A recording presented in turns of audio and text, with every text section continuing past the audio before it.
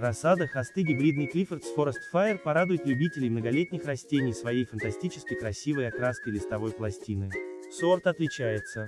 Волнистые листья окрашены в синий-зеленый цвет с неравномерной желто-кремовой каймой, со временем меняется на бело-кремовую. Цветы белые или лавандовые. Быстро нарастает. Устойчив к садовым вредителям.